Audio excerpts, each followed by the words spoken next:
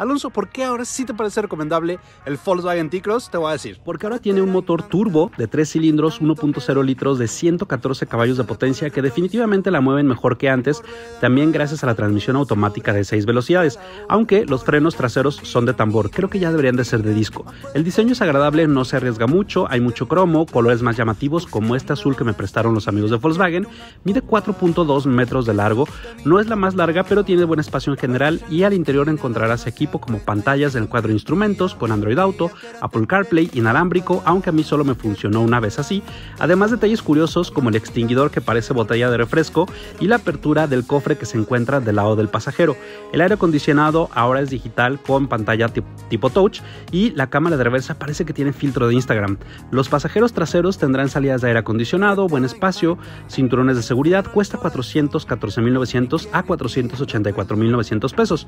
Yo compraré un Jetta.